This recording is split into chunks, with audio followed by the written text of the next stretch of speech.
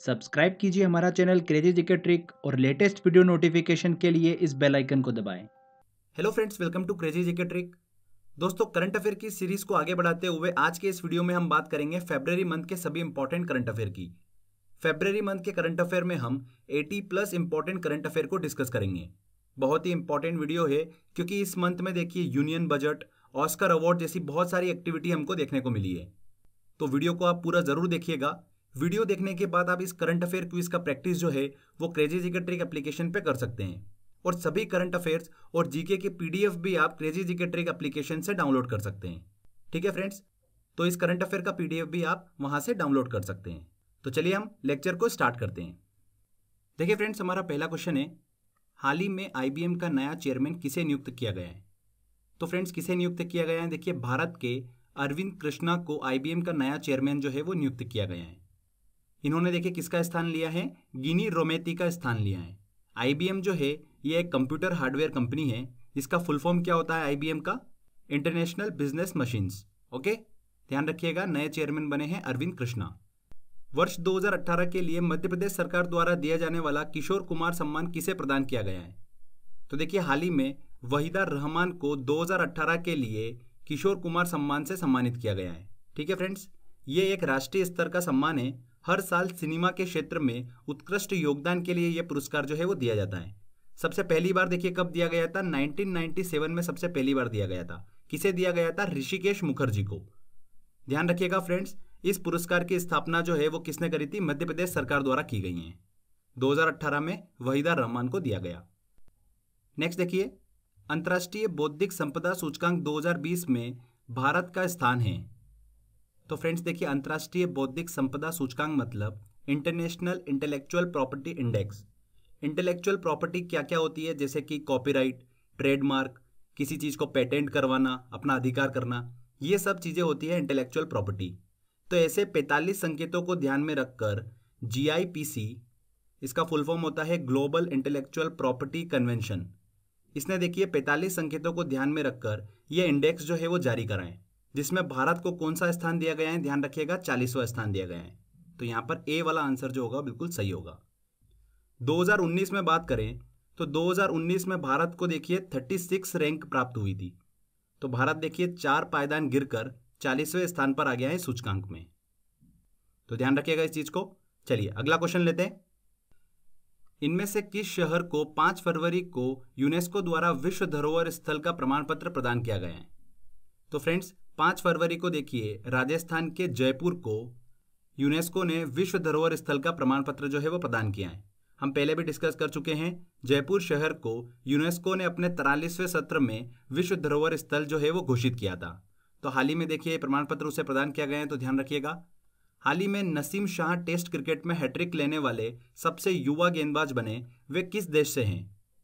तो पाकिस्तानी क्रिकेटर हैं, देखिए, नसीम शाह। हाल ही में देखिए, टेस्ट क्रिकेट में हैट्रिक लेने वाले सबसे युवा गेंदबाज बन गए हैं। उन्होंने बांग्लादेश के विरुद्ध मैच खेलते हुए हैट्रिक ली है तो ध्यान रखिएगा, पाकिस्तान से बिलोंग करते हैं। प्रमोद अग्रवाल ने हाल ही में किस सार्वजनिक कंपनी के चेयरमैन व एमडी का पद जो है वो ग्रहण किया है? मैनेजिंग डायरेक्टर का पद। तो प्रमोद अग्रवाल जो है, वो कोल इंडिया के चेयरमैन और मैनेजिंग डायरेक्टर जो है, वो बने हैं। C answer. डिफेंस एक्सपो 2020 के संदर्भ में सही कथन है।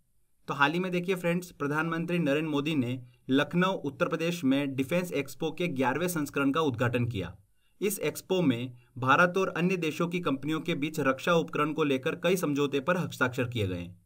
तो उनसे रिलेटेड देखिए पॉइंट 2020 में डिफेंस एक्सपो का ग्यारहवा संस्करण आयोजित किया गया, बिल्कुल सही। डिफेंस एक्सपो 2020 का आयोजन लखनऊ में किया गया, बिल्कुल सही। डिफेंस एक्सपो 2020 की theme India the emerging defence manufacturing hub थी। ये भी बिल्कुल सही है। तो उपरोक्त सभी कथन जो होंगे वो बिल्कुल सही होंगे। तो ये सारे पॉइंट्स आपको दिमाग में रखने हैं। काफ़ी इंपॉर्टेंट है। डी आंसर यहाँ पर बिल्कुल सही होगा। इनमें से कौन अंतरिक्ष में सबसे लंबे समय तक रहने वाली महिला बनी है? तो पहले भी हम देखिए क्वेश्चन डिस्कस कर चुके हैं। ध्यान रखिएगा कौन है वो? अमेरिकी अंतरिक्ष यात्री क्रिस्टीना कोच। क्रिस्टीना कोच जो है, वो अंतरिक्ष में सबसे लंबे समय तक रहने वाली महिला बनी है। तो यहाँ पर डी आंसर जो होगा बिल्कुल सही होगा। उन्होंने देखिए, अंतर्राष्ट्रीय अंतरिक्ष स्टेशन पर कुल 328 दिन का समय जो है वो बिताया है। हाल ही में देखिए 6 फरवरी को कृष्णा कोच जो है, वो पृथ्वी पर वापस लौटी है। अंतरिक्ष में इन्होंने 328 दिन का समय बिताया है और लगभग 14 करोड़ किलोमीटर की यात्रा कंप्लीट करी है। इससे पहले देखिए, रिकॉर्ड जो है वो किसके नाम था? पेगी विटसन के नाम पर था। वो अंतरिक्ष में दो सौ अट्ठासी दिन रही थी। तो ये भी इंपॉर्टेंट क्वेश्चन है, ध्यान रखिएगा फ्रेंड्स हाल ही में किस राज्य सरकार ने मुख्यमंत्री परिवार समृद्धि योजना लॉन्च करी है? किस राज्य सरकार ने? हरियाणा सरकार ने। देखिए, इस योजना के तहत राज्य के जरूरतमंद परिवारों को छह हज़ार रुपए तक की वित्तीय सहायता जो है वो प्रदान की जाएगी। और इस योजना का लाभ कौन कौन ले सकेंगे? जिन लोगों की वार्षिक पारिवारिक आय जो है वो 1.8 लाख से कम और जिनके पास पाँच एकड़ से कम ज़मीन है। ठीक है, वही इस योजना का लाभ ले पाएँगे। तो ध्यान रखिएगा, किस राज्य सरकार ने शुरू करी है? हरियाणा सरकार ने। चलिए अगला क्वेश्चन लेते हैं। ऑस्कर अवार्ड 2020 में सर्वश्रेष्ठ अभिनेता बेस्ट एक्टर का अवार्ड किसे दिया गया है? तो फ्रेंड्स देखिए फेबररी मंथ में ऑस्कर अवार्ड और बाफ्टा अवार्ड जो है वो प्रदान किए गए हैं। तो दोनों से रिलेटेड पहले सारे इंपॉर्टेंट पॉइंट्स हम डिस्कस कर लेते हैं, उसके बाद में इनसे रिलेटेड क्वेश्चन सॉल्व करेंगे। ऑस्कर अवार्ड की बात करें तो फ्रेंड्स ये अमेरिका की academy of motion picture arts and science के द्वारा प्रदान किया जाता है। हाल ही में दुनिया के सबसे प्रतिष्ठित फ़िल्म अवार्ड, यानी बानवे ऑस्कर अवार्ड की घोषणा की गई है। तो इससे रिलेटेड देखिए विजेताओं की पूरी सूची को हम अच्छे से डिस्कस कर लेते हैं। बेस्ट एक्टर का अवार्ड किसे दिया गया है? जॉकिन फोनिक्स को दिया गया है। देखिए, ऑस्कर अवार्ड से पिछले साल भी बहुत क्वेश्चंस एग्ज़ाम में पूछे गए हैं। तो ध्यान से डेटा को देखिए, याद करिएगा। बेस्ट एक्टर का अवार्ड किसे दिया गया है? जॉकिन फोनिक्स को दिया गया है। फ़िल्म जोकर में शानदार अभिनय के लिए उन्हें यह पुरस्कार जो है वो दिया गया है। बेस्ट एक्ट्रेस की बात करें तो ये किसे दिया गया है? देखिए रेनी जेलवेगर को दिया गया है। जुड़ी फ़िल्म के लिए देखिए, ये पुरस्कार उन्हें दिया गया है। रेनी जेलवेगर सर्वश्रेष्ठ फ़िल्म की बात करें बेस्ट फ़िल्म की बात करें तो किसे दिया गया है ऑस्कर पुरस्कार? पेरासाइट को दिया गया है। फ्रेंड्स वेरी वेरी इंपॉर्टेंट है। इसके बाद बेस्ट डायरेक्टर की बात करें तो बोंग जून हु को देखिए, ये पुरस्कार दिया गया है। इन्होंने ही देखिए, फ़िल्म पेरासाइट जो है, वो डायरेक्ट करी थी। क्लियर बेस्ट सिनेमेटोग्राफी की बात करें तो ये फ़िल्म 1917 को दिया गया है। 1917 फ़िल्म जो है, इसे बेस्ट सिनेमेटोग्राफी का पुरस्कार जो है वो दिया गया है। बेस्ट एनिमेटेड फ़िल्म की बात करें तो टॉय स्टोरी फोर को दिया गया है। बेस्ट डॉक्यूमेंट्री फ़िल्म की बात करें तो वो अमेरिकन फैक्ट्री को दिया गया है। क्लियर तो ये इंपॉर्टेंट इंपॉर्टेंट मैंने आपको बताए हैं। एक बार देखिए, ध्यान से इनको सुन लीजिए। आपको ऐसे याद करने की ज़रूरत नहीं है। ऑप्शन देखिए, आपको चीज़ें समझ में आ जाएगी। अब देखिए टॉय स्टोरी है तो मतलब यहाँ पर एनिमेशन से ही रिलेटेड होगी। तो ये आपको चीज़ें जो है वो दिमाग में आ जाएगी। ध्यान रखिएगा 1917 जो मूवी है, इसने सबसे ज़्यादा तीन ऑस्कर अवार्ड जो है वो अपने नाम किए हैं। इसके बाद फ्रेंड्स बात करते हैं, फेबररी मंथ में ही देखिए, तिहत्तरवें बाफ्टा पुरस्कारों की घोषणा भी की गई है। British academy of film and television arts, ये फुल फॉर्म होता है बाफ्टा का। ब्रिटिश अकादमी ऑफ़ फ़िल्म और टेलीविज़न आर्ट्स द्वारा दिया जाने वाला एक ये वार्षिक पुरस्कार है, जिसे बाफ्टा पुरस्कार के नाम से भी जाना जाता है। ये अमेरिका के ऑस्कर पुरस्कार के बाद दूसरा सबसे बड़ा पुरस्कार है। इसमें देखिए, ज़्यादा आपको याद करने की ज़रूरत नहीं है, बहुत ही सिंपल है। बस एक दो चीज़ें ध्यान रखना है। बेस्ट फ़िल्म जो है, वो किसे दिया गया है? देखिए 1917 को दिया गया है। ओके? बेस्ट डायरेक्टर का अवार्ड किसे दिया गया है? सेम मेंडेस को दिया गया है। इन्होंने ही देखिए, फ़िल्म 1917 जो है, वो डायरेक्ट करी थी। बेस्ट एक्टर और बेस्ट एक्ट्रेस जो है, वो बिल्कुल एज इट इज़ है। जॉकिन फोनिक्स को दिया गया है, फ़िल्म जोकर के लिए। बेस्ट एक्ट्रेस की बात करें तो रेनी जेलवेगर को दिया गया है जूडी फ़िल्म के लिए। क्लियर तो बहुत ही सिंपल है, ज़्यादा इसमें आपको याद करने की ज़रूरत नहीं पड़ेगी। तो ये ऑस्कर अवार्ड और बाफ्टा पुरस्कारों को हमने अच्छे से डिस्कस करा है। चलिए अब इनसे रिलेटेड कौन कौन से क्वेश्चन एग्ज़ाम में बन सकते हैं, वो सारे क्वेश्चन हम डिस्कस करते हैं। ऑस्कर अवार्ड 2020 में सर्वश्रेष्ठ अभिनेता बेस्ट एक्टर का अवार्ड किसे दिया गया है? तो बेस्ट एक्टर का अवार्ड किसे दिया गया है? जॉकिन फोनिक्स को दिया गया है। फ़िल्म जोकर में उनके अभिनय के लिए उन्हें पुरस्कार दिया गया है। ऑस्कर अवार्ड 2020 में सर्वश्रेष्ठ अभिनेत्री बेस्ट एक्ट्रेस का अवार्ड किसे दिया गया है? बेस्ट एक्ट्रेस का अवार्ड किसे दिया गया है? रेनी जेलवेगर को दिया गया है। बी आंसर, सर्वश्रेष्ठ फ़िल्म का अवार्ड जो है वो किसे दिया गया है ऑस्कर अवार्ड में? ध्यान रखिएगा, पेरासाइट को। बी आंसर, अगर बाफ्टा की बात करते हैं तो उसमें 1917 को दिया गया है। चलिए अगला क्वेश्चन लेते हैं। बाफ्टा अवार्ड 2020 में सर्वश्रेष्ठ फ़िल्म का अवार्ड किसे दिया गया है? तो फ्रेंड्स, बाफ्टा अवार्ड में देखिए, सर्वश्रेष्ठ फ़िल्म का अवार्ड किसे दिया गया है? 1917 को दिया गया है। ऑस्कर अवार्ड 2020 में बेस्ट डॉक्यूमेंट्री फ़िल्म का अवार्ड किसे दिया गया है? बेस्ट डॉक्यूमेंट्री फ़िल्म देखिए किसे दिया गया है? अमेरिकन फैक्ट्री को। ऑस्कर अवार्ड 2020 में बेस्ट एनिमेटेड फ़िल्म का अवार्ड किसे दिया गया है? किसे दिया गया है? टॉय स्टोरी फोर को। A answer. नेक्स्ट देखिए। हाल ही में भारत ने संयुक्त सेन अभ्यास अजय वॉरियर 2020 किस देश के साथ किया है? तो भारत और यूनाइटेड किंगडम मतलब यूके के बीच में ये अभ्यास जो है वो किया गया है। इस अभ्यास का आयोजन जो है, वो कब से हो रहा है, ध्यान रखिएगा 2005 से किया जा रहा है।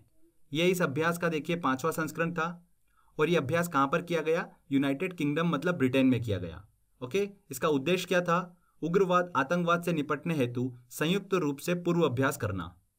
यही इसका उद्देश्य था। तो अजय वॉरियर का संबंध किससे है? भारत और ब्रिटेन। डी आंसर यहाँ पर बिल्कुल सही होगा। विश्व रेडियो दिवस मनाया जाता है। देखिए, मीडिया में रेडियो के महत्व के बारे में जागरूकता फैलाने के उद्देश्य से हर साल तेरह फरवरी को विश्व रेडियो दिवस जो है वो मनाया जाता है। तो यहाँ पर बी आंसर सही होगा।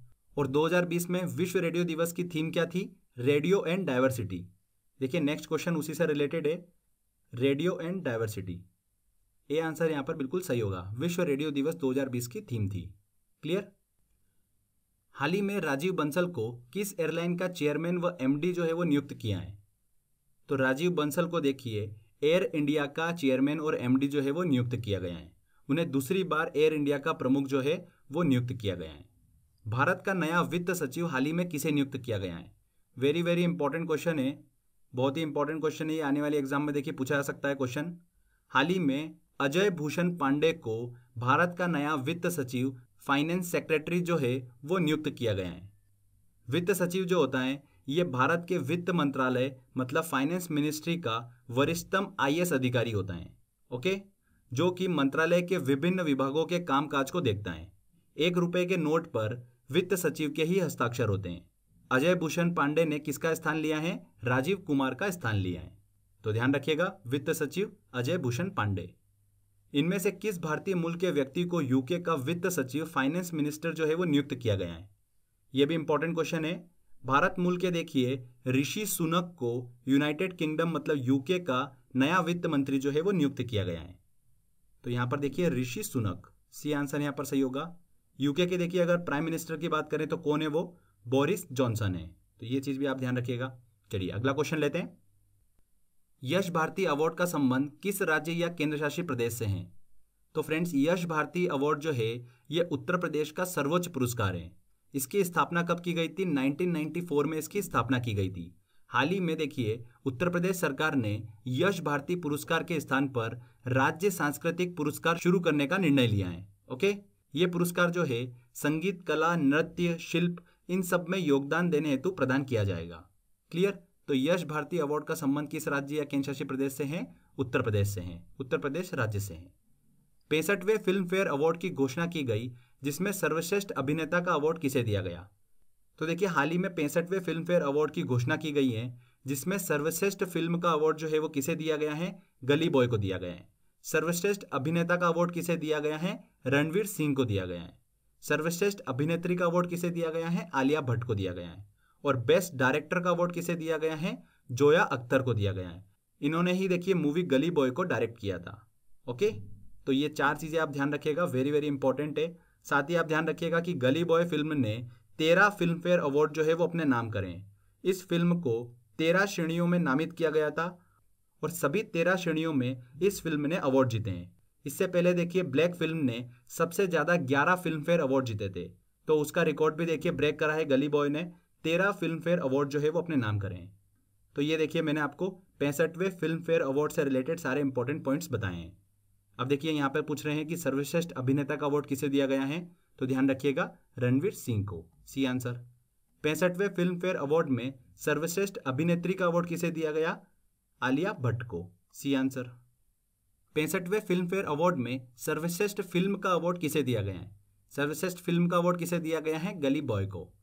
और कितने फ़िल्म फेयर अवार्ड जीते इसने? तेरह फ़िल्म फेयर अवार्ड जीते हैं। नाडू नेड्डू योजना हाल ही में किस राज्य सरकार ने लॉन्च की है? किस राज्य सरकार ने लॉन्च करी है? आंध्र प्रदेश राज्य सरकार ने लॉन्च करी है। अस्पतालों के आधुनिकरण के लिए आंध्र प्रदेश के मुख्यमंत्री वाई एस जगनमोहन रेड्डी ने हाल ही में नाडू नेड्डू योजना जो है वो लॉन्च करी है। इस योजना के तहत तीन साल में सरकारी अस्पतालों का आधुनिकरण जो है वो किया जाएगा। तो किस राज्य से संबंधित है ये योजना? आंध्र प्रदेश से संबंधित है। भारत की पहली इंटरसिटी इलेक्ट्रिक बस सेवा किस राज्य में शुरू की गई है? तो किस राज्य में देखिए, ध्यान रखिएगा, ये महाराष्ट्र में शुरू की गई है। मुंबई और पुणे के बीच में पहली इंटरसिटी इलेक्ट्रिक बस सेवा जो है वो शुरू की गई है। एक बार चार्ज करने पर यह बस जो है 300 किलोमीटर की दूरी जो है वो तय कर सकती है। जैसा कि हमने देखिए, लास्ट ईयर बजट में भी देखा था कि सरकार जो है, वो इलेक्ट्रिक व्हीकल पे ज़्यादा फोकस कर रही है। तो उसी में देखिए, पहला कदम है ये, भारत की पहली इंटरसिटी इलेक्ट्रिक बस सेवा जो है, वो महाराष्ट्र में शुरू की गई है। Soil health card scheme Bharat सरकार ने किस वर्ष शुरू की? तो फ्रेंड्स देखिए, हाल ही में 19 फरवरी को सॉइल हेल्थ कार्ड दिवस के रूप में मनाए जाने की सरकार ने घोषणा करी है। सॉइल हेल्थ कार्ड स्कीम जो है, सरकार ने 19 फरवरी 2015 को लॉन्च करी थी। इस योजना के तहत देखिए, मिट्टी की उपजाऊता का पता लगाया जाता है। जिससे किसानों को खेत में कितना फर्टिलाइज़र कितना उर्वरक की मात्रा डालनी है, इसका उन्हें पता लगता है। क्लियर तो ये स्कीम कब शुरू की गई थी? 2015 में। तो डी आंसर यहाँ पर सही होगा। हाल ही में भारत सरकार ने देखिए 19 फरवरी को सॉइल हेल्थ कार्ड डे मनाने की घोषणा करी है। हाल ही में किसे अफ़गानिस्तान का राष्ट्रपति चुना गया है? तो देखिए, अफ़गानिस्तान का राष्ट्रपति हाल ही में किसे चुना गया है? अशरफ गनी को चुना गया है। दूसरी बार देखिए वो अफ़गानिस्तान के राष्ट्रपति चुने गए हैं। इनमें से किसे हाल ही में गठित राम मंदिर निर्माण समिति का अध्यक्ष जो है वो नियुक्त किया गया है? ये भी देखिए इंपॉर्टेंट क्वेश्चन है। किसे नियुक्त किया गया है? नृपेंद्र मिश्रा को राम मंदिर निर्माण समिति का अध्यक्ष जो है वो नियुक्त किया गया है। हाल ही में इसकी घोषणा की गई। साथ ही फ्रेंड्स ध्यान रखिएगा, राम मंदिर ट्रस्ट का अध्यक्ष जो है वो किसे नियुक्त किया गया है? नृत्य गोपाल दास को नियुक्त किया गया है। निर्माण समिति के अध्यक्ष देखिए नृपेंद्र मिश्रा को और राम मंदिर ट्रस्ट का अध्यक्ष जो है, वो नृत्य गोपाल दास को नियुक्त किया गया है। दोनों चीज़ें आप ध्यान रखिएगा, दोनों में कंफ्यूज मत होइएगा, ठीक है? चलिए, अगला क्वेश्चन लेते हैं। हाल ही में एशियाई कुश्ती चैंपियनशिप 2020 का आयोजन कहाँ पर किया गया? तो फ्रेंड्स, एशियाई कुश्ती चैंपियनशिप 2020 से रिलेटेड पहले सारे पॉइंट डिस्कस कर लेते हैं, उसके बाद में इन क्वेश्चंस को हम सॉल्व करेंगे। एशियाई कुश्ती चैंपियनशिप 2020 को 18 फरवरी से 23 फरवरी के बीच में नई दिल्ली, भारत में आयोजित किया गया। पदक तालिका की बात करें तो देखिए, पहले स्थान पर कौन रहा? है जापान रहा है दूसरे स्थान पर ईरान रहा है और तीसरे स्थान पर रहा है भारत। भारत ने देखिए, इस चैंपियनशिप में कुल सबसे ज़्यादा 20 पदक जीते हैं, जिसमें पाँच गोल्ड, छह सिल्वर और नौ ब्रॉन्ज मेडल जीते हैं। इसमें देखिए, दो चीज़ें आप ध्यान रखिएगा। रवि कुमार दहिया ने पुरुषों के सत्तावन किलोग्राम भार वर्ग में गोल्ड मेडल जीता है। और महिलाओं में ध्यान रखिएगा, दिव्या काकरन ने अड़सठ किलोग्राम भार वर्ग में गोल्ड मेडल जीता है ओके? कहाँ पर आयोजित की गई थी ये? नई दिल्ली, भारत में आयोजित की गई थी चैंपियनशिप। चलिए अब क्वेश्चन की तरफ़ चलते हैं और सारे क्वेश्चन को हम सॉल्व करते हैं। हाल ही में एशियाई कुश्ती चैंपियनशिप 2020 का आयोजन कहाँ पर किया गया? तो फ्रेंड्स, कहाँ पर किया गया? भारत में आयोजन किया गया इसका। एशियाई कुश्ती चैंपियनशिप 2020 में भारत का पदक तालिका में स्थान रहा। भारत का देखिए पदक तालिका में कौन सा स्थान रहा? तीसरा स्थान रहा है। पहले स्थान पर कौन रहा है? जापान रहा है। दिव्या काकरन ने किस भार वर्ग में स्वर्ण पदक जीता है दिव्या काकरन ने देखिए महिलाओं के अड़सठ किलोग्राम भार वर्ग में स्वर्ण पदक जीता है ये आंसर सही होगा। चलिए अगला क्वेश्चन लेते हैं। इनमें से किस राज्य सरकार ने 20 फरवरी को अपना राज्य स्थापना दिवस मनाया है? मिजोरम, अरुणाचल प्रदेश। देखिए यहाँ पर मिजोरम और अरुणाचल प्रदेश दोनों ने 20 फरवरी को अपना राज्य स्थापना दिवस जो है वो मनाया है। तो सी आंसर सही होगा। हाल ही में संयुक्त राष्ट्र समर्थित की एक रिपोर्ट में सस्टेनेबिलिटी इंडेक्स के मामले में भारत को स्थान दिया गया है। हाल ही में देखिए, विश्व स्वास्थ्य संगठन डब्ल्यू और यूनिसेफ के द्वारा दो इंडेक्स जारी किए गए हैं। पहला कौन सा? सस्टेनेबिलिटी इंडेक्स, जिसमें भारत को सितोत्तरवीं रैंक प्राप्त हुई है। यह इंडेक्स जो है, प्रति व्यक्ति कार्बन उत्सर्जन से संबंधित है। Sustainability index. इसके बाद देखिए, उन्होंने सेकेंड इंडेक्स लॉन्च कराए ग्लोबल फ्लोरिशिंग इंडेक्स। इसमें भारत को कौन सी रैंक दी गई है? एक रैंक दी गई है। मतलब बच्चों के स्वास्थ्य एवं खुशहाल जीवन के मामले में भारत को एक रैंक पर रखा गया है, ओके? और सस्टेनेबिलिटी इंडेक्स के मामले में भारत को सितहत्तरवीं रैंक दी गई है। दोनों चीज़ आप ध्यान रखिएगा वेरी वेरी इंपॉर्टेंट है। नेक्स्ट क्वेश्चन देखिए, उसी से रिलेटेड है। संयुक्त राष्ट्र समर्थित की एक रिपोर्ट में फ्लोरिशिंग इंडेक्स में भारत को क्या स्थान दिया गया है? फ्लोरिशिंग इंडेक्स के मामले में मतलब बच्चों के स्वस्थ एवं खुशहाल जीवन के मामले में, भारत को 131वीं रैंक पर रखा गया है। सी आंसर यहाँ पर बिल्कुल सही होगा। चर्चा में रहे रितेश अग्रवाल, इनमें से किस कंपनी के संस्थापक हैं? देखिए, रितेश अग्रवाल जो है, वो ओयो होटल के संस्थापक हैं। ये आंसर यहाँ पर सही होगा। हुरून ग्लोबल रिच लिस्ट 2020 के अनुसार, रितेश अग्रवाल जो है, हाल ही में दुनिया के दूसरे सबसे युवा अरबपति बन गए हैं। तो देखिए, सुर्खियों में रहे हाल ही में ये तो रितेश अग्रवाल ओयो होटल के संस्थापक हैं। चौबीस साल की उम्र में देखिए, उनकी संपत्ति कितनी है? 1.1 बिलियन डॉलर। ओके फ्रेंड्स तो रितेश अग्रवाल ओयो होटल के संस्थापक हैं। राष्ट्रीय विज्ञान दिवस मनाया जाता है। राष्ट्रीय विज्ञान दिवस कब मनाया जाता है? हर साल 28 फरवरी को राष्ट्रीय विज्ञान दिवस मनाया जाता है। विज्ञान के महत्व के प्रति जागरूकता फैलाने के उद्देश्य से राष्ट्रीय विज्ञान दिवस जो है वो मनाया जाता है। साथ ही ध्यान रखिएगा ये दिन रमन प्रभाव की खोज की स्मृति में मनाया जाता है। इसी दिन सीवी रमन ने 1928 को रमन प्रभाव की खोज की थी, ठीक है? 28 फरवरी 1928 को। इसीलिए उसकी स्मृति में 28 फरवरी को राष्ट्रीय विज्ञान दिवस जो है वो मनाया जाता है। राष्ट्रीय विज्ञान दिवस 2020 की थीम क्या थी? तो फ्रेंड्स, इस बार देखिए, राष्ट्रीय विज्ञान दिवस की थीम क्या थी? विज्ञान में महिलाएँ, वुमेन इन साइंस, ये इस बार की थीम थी। तो यहाँ पर ए आंसर बिल्कुल सही होगा। इंद्रधनुष युद्ध अभ्यास का संबंध किन दो देशों से है? तो देखिए, इंद्रधनुष युद्ध अभ्यास का संबंध किन दो देशों से है? भारत और यूके से है, ब्रिटेन से है। हाल ही में भारत और ब्रिटेन के बीच में इंद्रधनुष युद्ध अभ्यास के पाँचवें संस्करण का आयोजन किया गया। भारत और ब्रिटेन के अन्य युद्ध अभ्यास की बात करें तो अजय वॉरियर जो अभी हमने डिस्कस करा इससे पहले, कोंकण नौसेना अभ्यास, ये सारे अभ्यास जो होते हैं, ये भारत और यूके मतलब ब्रिटेन के बीच में किए जाते हैं। ठीक है, इंद्रधनुष युद्ध अभ्यास का संबंध किससे है? भारत और यूके से है। हाल ही में सुर्खियों में रहा सरदार पटेल स्टेडियम कहाँ पर स्थित है? कहाँ पर स्थित है फ्रेंड्स ये? अहमदाबाद में स्थित है, गुजरात के अहमदाबाद में। अहमदाबाद का देखिए सरदार पटेल स्टेडियम, जिसे मोटेरा स्टेडियम भी कहा जाता है, विश्व का सबसे बड़ा क्रिकेट स्टेडियम है। इसका निर्माण जो है, वो 2016 में शुरू हुआ था। हाल ही में इस स्टेडियम में नमस्ते ट्रंप कार्यक्रम का आयोजन किया गया। तो ध्यान रखिएगा वेरी वेरी इंपॉर्टेंट है। सरदार पटेल स्टेडियम या फिर इसे बोला जाता है मोटेरा स्टेडियम, कहाँ पर स्थित है? अहमदाबाद में स्थित है। भारतीय कृषि अनुसंधान परिषद द्वारा अंतर्राष्ट्रीय केला सम्मेलन का आयोजन किस शहर में किया गया? तो देखिए, तमिलनाडु के तिरुचिरापल्ली में इस अंतर्राष्ट्रीय केला सम्मेलन का आयोजन किया गया है। साथ ही ध्यान रखिएगा, केले के सर्वाधिक उत्पादन में भारत जो है, विश्व में पहले स्थान पर आता है। तो अंतर्राष्ट्रीय केले सम्मेलन का आयोजन कहाँ पर किया गया? तमिलनाडु के तिरुचिरापल्ली में किया गया। चलिए अगला क्वेश्चन लेते हैं। इनमें से कौन सा देश हाल ही में भारत का सबसे बड़ा व्यापारिक साझेदार मतलब बिज़नेस पार्टनर बन गया है? तो कौन बन गया है? देखिए, भारत का सबसे बड़ा व्यापारिक साझेदार अमेरिका बन गया है।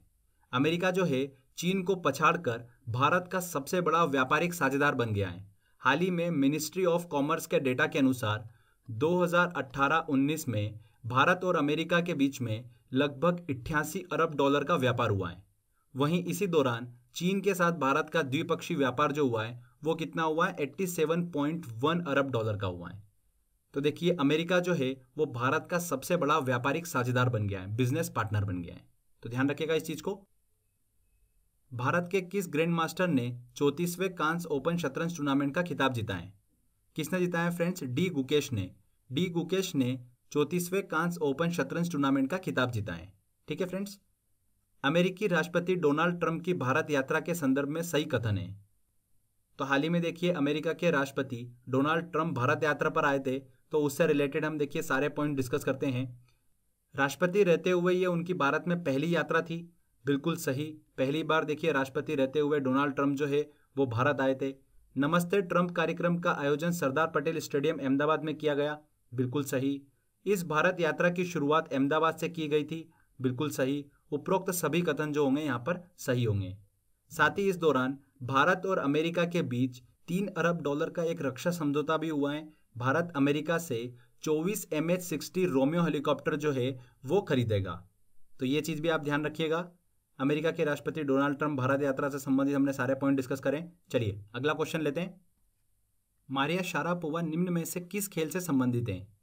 तो फ्रेंड्स देखिए, मारिया शारापोवा जो है, वो टेनिस से संबंधित है। हाल ही में देखिए रूस की प्रसिद्ध टेनिस खिलाड़ी मारिया शारापोवा ने संन्यास की घोषणा की है। तो ध्यान रखिएगा, डॉक्टर राजेंद्र कुमार पचौरी का हाल ही में निधन हो गया, वह थे। देश के देखिए प्रसिद्ध पर्यावरणविद डॉक्टर राजेंद्र कुमार पचौरी का हाल ही में निधन हो गया है। तो कौन थे देखिए, पर्यावरणविद थे वो। खिलाड़ी जोशना चिनप्पा और सौरभ घोषाल किस खेल से संबंधित हैं? तो फ्रेंड्स देखिए, हाल ही में चर्चा में रहे ये जोशना चिनप्पा महिला वर्ग में और सौरभ घोषाल ने पुरुष वर्ग में सितोत्तरवीं राष्ट्रीय स्क्वेश चैंपियनशिप का खिताब जीता है तो किस खेल से संबंधित है? देखिए स्क्वेश से संबंधित है। ये आंसर यहाँ पर सही होगा। चलिए अगला क्वेश्चन लेते हैं।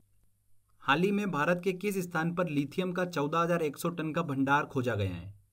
तो भारतीय परमाणु ऊर्जा आयोग के अनुसंधानकर्ताओं ने मांड्या में 14,100 टन के लिथियम भंडार की खोज करी है। कहाँ पर? मांड्या में। सी आंसर यहाँ पर सही होगा। मांड्या जो है, ये कर्नाटक में बेंगलुरु से लगभग 100 किलोमीटर दूर स्थित है। कहाँ पर स्थित है? कर्नाटक में स्थित है। लिथियम जो है, ये एक दुर्लभ धातु है, मेटल है। इसका उपयोग मुख्य रूप से इलेक्ट्रिक व्हीकल की बैटरी के निर्माण में किया जाता है। भारत जो है, वो देखिए इलेक्ट्रिक व्हीकल पे ज़्यादा फोकस कर रहा है।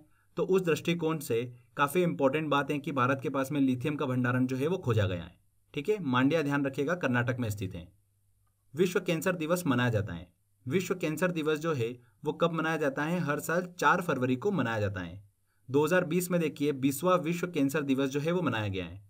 और इस बार इसकी थीम क्या थी? I am and I will ये इस बार की इसकी थीम थी। खिलाड़ी रानी रामपाल संबंधित हैं। वेरी वेरी इंपॉर्टेंट है ये क्वेश्चन भी। हाल ही में रानी रामपाल को world games athlete of the year 2020 पुरस्कार से सम्मानित किया गया है। Very very important world games athlete of the year 2020 पुरस्कार से किसे सम्मानित किया गया है? रानी रामपाल को सम्मानित किया गया है। रानी रामपाल जो है, ये देखिए, भारतीय महिला हॉकी टीम की कप्तान है। सी आंसर यहाँ पर सही होगा, किस खेल से संबंधित है? हॉकी से संबंधित है। साथ ही रानी रामपाल को इस साल पद्मश्री पुरस्कार से भी सम्मानित किया गया है। तो उस दृष्टिकोण से देखिए, काफ़ी इंपॉर्टेंट क्वेश्चन है। इनमें से कौन फुटबॉलर 1000 अंतर्राष्ट्रीय मैच खेलने वाले दुनिया के एकमात्र खिलाड़ी बने हैं? तो 1000 अंतर्राष्ट्रीय मैच खेलने वाले दुनिया के एकमात्र खिलाड़ी कौन बने हैं? Cristiano Ronaldo. सी आंसर यहाँ पर सही होगा। दिल्ली विधानसभा चुनाव हाल ही में पूरे हुए। राज्य विधानसभा में कितनी सीटों पर मतदान कराए गए? तो हाल ही में देखिए, दिल्ली विधानसभा चुनाव कंप्लीट हुए तो इससे रिलेटेड पॉइंट्स ध्यान रखिएगा। दिल्ली विधानसभा में देखिए, कुल कितनी सीटों पर मतदान हुए सत्तर सीटों पर मतदान हुए बहुमत के लिए देखिए, आंकड़ा चाहिए था थर्टी सिक्स, और आम आदमी पार्टी ने कितनी सीटें प्राप्त करी है? सिक्सटी टू सीटें प्राप्त करी है। ओके? और बीजेपी को कितनी सीट मिली है? आठ सीट मिली है। और अरविंद केजरीवाल ने देखिए, दिल्ली के सीएम के रूप में तीसरी बार शपथ ली है। तो ये सारे पॉइंट्स ध्यान रखिएगा। तो कितनी सीटों पर देखिए मतदान किए गए थे? सत्तर सीटों पर मतदान किए गए थे। दिल्ली विधानसभा चुनाव 2020 में आम आदमी पार्टी ने कितनी सीटें जीती हैं? तो कुल कितनी सीटें जीती हैं? देखिए 62 जीती हैं। इससे पहले देखिए 2015 में जो चुनाव हुआ था, उसमें उन्होंने 67 सीट जीती थी। और इस बार कितनी जीती है? 62 सीट जीती है। चलिए अगला क्वेश्चन लेते हैं। हाल ही में अरविंद केजरीवाल ने कौन सी बार दिल्ली के मुख्यमंत्री के रूप में शपथ ली है? तो देखिए, तीसरी बार दिल्ली के मुख्यमंत्री बने हैं अरविंद केजरीवाल। तो यहाँ पर बी आंसर सही होगा। सबसे पहले देखिए, वो उनपचास दिन के लिए दिल्ली के मुख्यमंत्री बने थे, फिर उन्होंने रिजाइन कर दिया था, फिर 2015 में चुनाव हुए, फिर वो मुख्यमंत्री बने और 2020 में देखिए, हाल ही में अभी उन्होंने दिल्ली के मुख्यमंत्री के रूप में शपथ ली है। तो तीन बार देखिए, दिल्ली के मुख्यमंत्री बने। अंडर नाइनटीन क्रिकेट विश्व कप 2020 का खिताब किस टीम ने जीता है? ये भी वेरी वेरी इंपॉर्टेंट क्वेश्चन है। अफ्रीका में आयोजित अंडर 19 क्रिकेट प्रतियोगिता 2020 का खिताब जो है, वो किस टीम ने जीता है? बांग्लादेश ने जीता है। बांग्लादेश ने देखिए, पहली बार ये खिताब जीता है। फाइनल जो हुआ था, वो भारत और बांग्लादेश के बीच में हुआ था। और बांग्लादेश ने इस खिताब को देखिए, जीता है अंडर 19 क्रिकेट विश्व कप का। हाल ही में जियोलॉजिकल सर्वे ऑफ़ इंडिया ने भारत के किस स्थान पर बावन टन स्वर्ण अयस्क के भंडार का पता लगाया है। वेरी वेरी इंपॉर्टेंट क्वेश्चन है, बहुत ज़्यादा सुर्खियों में रहा ये क्वेश्चन। देखिए, कहाँ पर पता लगाया है? जियोलॉजिकल सर्वे ऑफ़ इंडिया ने सोनभद्र ज़िले में। तो यहाँ पर ए आंसर जो होगा बिल्कुल सही होगा। सोनभद्र जिला जो है, ये चार राज्यों से सटा हुआ है। मध्य प्रदेश, छत्तीसगढ़, बिहार और झारखंड। सोनभद्र में जियोलॉजिकल सर्वे ऑफ़ इंडिया ने बावन टन स्वर्ण अयस्क के भंडार का पता लगाया है। वेरी वेरी इंपॉर्टेंट है, ध्यान रखिएगा इस चीज़ को। चलिए, अगला क्वेश्चन लेते हैं। हाल ही में उत्तर प्रदेश सरकार ने वित्तीय वर्ष 2020-21 के लिए कितने लाख करोड़ रुपए की राशि का बजट जो है वो पेश किया है? तो कितने लाख करोड़ रुपए की राशि का 5.25 लाख करोड़ रुपए की राशि का बजट जो है वो पेश किया है। उत्तर प्रदेश के राज्य वित्त मंत्री कौन है? सुरेश खन्ना है। उन्होंने देखिए 5.25 लाख करोड़ रुपए का बजट पेश किया है। यह उत्तर प्रदेश के इतिहास का अब तक का सबसे बड़ा बजट है। टोक्यो ओलंपिक 2020 का मोटो हाल ही में जारी किया गया, वह है। तो देखिए, टोक्यो ओलंपिक 2020 का मोटो जारी किया गया। क्या है मोटो? यूनाइटेड बाय इमोशन ये आंसर यहाँ पर सही होगा। ये मोटो जो है, खेलों के स्थान के अलावा पूरी सिटी में लिखा जाएगा। टोक्यो ओलंपिक की शुरुआत देखिए, जुलाई 2020 में होनी है। तो उसी के लिए देखिए, मोटो जो है, वो हाल ही में जारी किया गया है। United by emotion world language database द्वारा जारी रिपोर्ट के अनुसार, विश्व में तीन सबसे ज़्यादा बोली जाने वाली भाषा क्रमशः हैं। तो देखिए, हाल ही में वर्ल्ड लैंग्वेज डेटाबेस ने एक रिपोर्ट जारी करी है, जिसमें विश्व में तीन सबसे ज़्यादा बोले जाने वाली भाषा कौन कौन सी हैं? सबसे पहले नंबर पर आती हैं, देखिए, अंग्रेज़ी। सेकेंड नंबर पर आती हैं चाइनीज़ लैंग्वेज मंदारिन और तीसरे नंबर पर आती है हिंदी। तो यहाँ पर ए आंसर जो होगा वो बिल्कुल सही होगा। भारत में देखिए, हिंदी के बाद सबसे ज़्यादा बोली जाने वाली भाषा कौन सी है? बंगाली है, जो कि विश्व में सातवें स्थान पर आती हैं। ये चीज़ भी आपको पता होना चाहिए। अंतर्राष्ट्रीय मातृभाषा दिवस मनाया जाता है। तो देखिए, हर साल 21 फरवरी को अंतर्राष्ट्रीय मातृभाषा दिवस जो है वो मनाया जाता है। भाषा और सांस्कृतिक विविधता को प्रोत्साहन देने के उद्देश्य से ये दिवस जो है वो मनाया जाता है। कंप्यूटर वैज्ञानिक लेरी टेस्लर का हाल ही में निधन हो गया। उन्होंने विकसित किया था। तो लेरी टेस्लर ने ही देखिए, कट, कॉपी, पेस्ट कमांड जो है उसका विकास किया था। तो यहाँ पर ए आंसर सही होगा। कट, कॉपी, पेस्ट बनाने वाले लेरी टेस्लर का देखिए हाल ही में निधन हो गया है। हाल ही में खोजी गई क्रॉस्पेडोट्रोपिस ग्रेटा थनबर्ग, किसकी एक नई प्रजाति का नाम है। तो देखिए ब्रुनई में वैज्ञानिकों ने घोंगे की एक नई प्रजाति की खोज करी है। वैज्ञानिकों द्वारा इस प्रजाति का नाम जो है, वो पर्यावरण एक्टिविस्ट ग्रेटा थनबर्ग के नाम पर रखा गया है। Craspedotropis Greta Thunberg, okay? तो घोंगे की एक प्रजाति है। B answer. आगे देखिए फ्रेंड्स, बजट से रिलेटेड हम क्वेश्चन सॉल्व करेंगे। चूँकि ये फेबररी मंथ में देखिए कंप्लीट हुई एक्टिविटी है तो इससे रिलेटेड सारे क्वेश्चन जल्दी से हम रिवाइज कर लेते हैं। बजट पे मैंने ऑलरेडी वीडियो बना रखा है, अगर आपने वो नहीं देखा है तो डिस्क्रिप्शन बॉक्स में मैंने लिंक दे रखा है। आप वहाँ से वो वीडियो देख सकते हैं, काफ़ी इंपॉर्टेंट वीडियो है। आने वाली एग्ज़ाम में ज़रूर वहाँ से क्वेश्चन जो है वो पूछा जाएगा। तो जल्दी से हम देखिए क्वेश्चन को रिवाइज कर लेते हैं। वर्ष 2020-21 के लिए केंद्रीय बजट को लोकसभा में किसने प्रस्तुत किया? तो 2020-21 के लिए केंद्रीय बजट को लोकसभा में देखिए निर्मला सीतारमण ने प्रस्तुत किया था।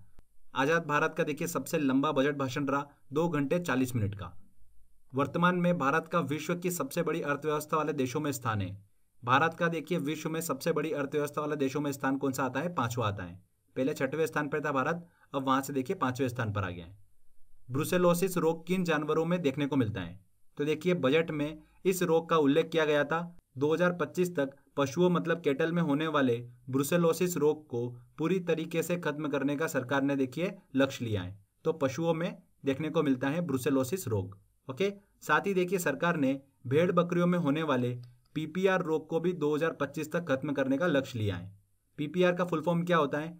पेस्टिडेस पेटिटस रूमिनेंट्स ठीक है? भेड़ बकरियों में देखने को मिलता है ये रोग, इसको भी 2025 तक खत्म करने का सरकार ने लक्ष्य लिया है। चलिए अगला क्वेश्चन लेते हैं।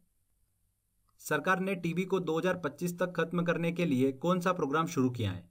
देखिए 2025 तक टीबी को खत्म करने के लिए टीबी हारेगा, देश जीतेगा प्रोग्राम जो है सरकार ने शुरू किया है। B answer. सरकार ने निर्विक योजना शुरू की जिसका संबंध है। निर्विक योजना देखिए, सरकार ने शुरू करी निर्यात बढ़ाने से संबंधित है, एक्सपोर्ट बढ़ाने से संबंधित है।